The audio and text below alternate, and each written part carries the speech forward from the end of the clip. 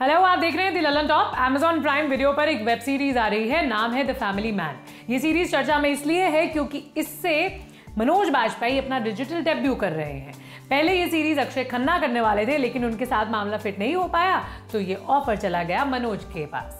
इस सीरीज़ का ट्रेलर आया है, जो गंभीरता के साथ साथ गुदगुदाता भी है।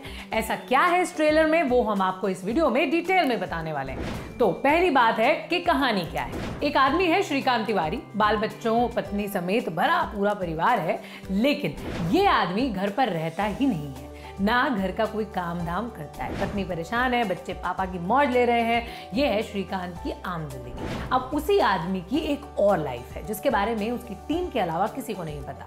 ये लाइफ है एक स्पाई यानी जासूस की। देश में घटने वाली तमाम चीज़ों को अपने साथी ऑफिसर्स के साथ हैंडल करता है वो। लेकिन इसी बीच इंडियन सीक्रेट एजेंसियों को बलूचिस्तान से ये टिप मिलती है कि इंडिया में कुछ बड़ा होने वाला है। अब ये वाला जो प्रोजेक्ट है, वो श्रीकांत और देश की सुरक्षा दोनों के लिए ही बड़ा और ज़रूरी है। एक चूक सब कुछ बिगाड़ सकती है। उसे ये सारा कुछ हैंडल करना है अपने परिवार को मैनेज करते हुए।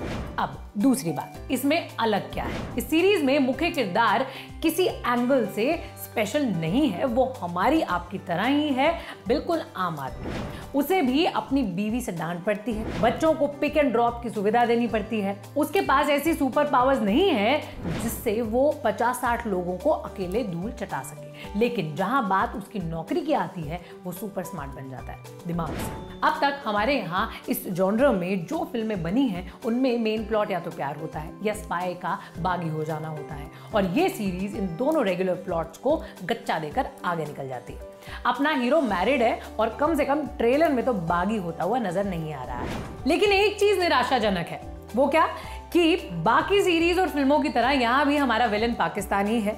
हम अपनी गलतियों का ठीकरा पाकिस्तान के सिर कब तक फोड़ते रहेंगे? ये नेताओं और अभिनेताओं दोनों से पूछा जाना चाहिए वैसे। तीसरी बात कौन कौन काम कर रहा है इसमें?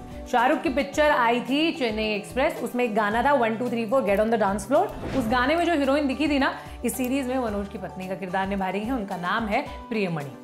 और साउथ की फ़िल्म इंडस्ट्री में ये काफ़ी बड़ा नाम है। मनोज के कलीग के रोल में फिल्मिस्तान फेम शारिब हाशमी है, जिन्होंने गब्बर के बाद सबसे शानदार तरीके से होली की तारीख पूछी और डोर वाली गुल पनाग भी है इसमें। इन सब लोगों के बॉस बने हैं दिलीप ताहिर। और साथ में एक्टर शाहब अली भी हैं। चौथी बात, किन्होंने बनाई है ये फ़िल्म? इस सीरीज़ को लिखा है सुमित अरोड़ा ने, जिन्होंने स्त्री के डायलॉग्स लिखे थे। राइटिंग डिपार्टमेंट में उनके साथ रविशंकर मुप्पा और सुमन कुमार भी हैं। डायरेक्शन का जिम्मा है राज और डीके की जोड़ी पर। राज और डीके की जोड़ी इससे पहले शोर इन द सिटी और गो गोआ गॉन जैसी सफल और अलग स्टाइल की फ़िल्में बना चुकी हैं, लेकिन इनके खाते में हैप्पी एंडिंग और अ जेंटलमैन जैसी फ़िल्में भी हैं, इसलिए फिंगर्स क्रॉस रखनी होंगी।